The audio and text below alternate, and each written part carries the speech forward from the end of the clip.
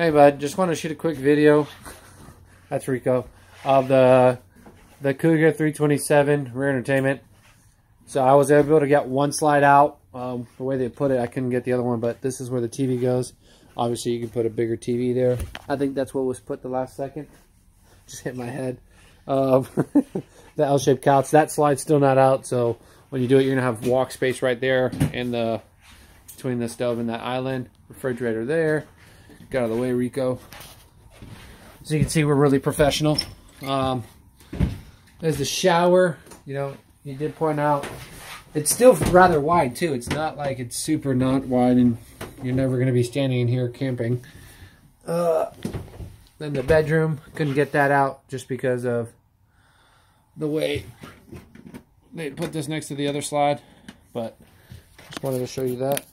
And then there's the bedroom, sorry. Yeah, bud, so here's the video you asked for. Show your wife. Let me know. Once again, there's Rico. Smile, Rico.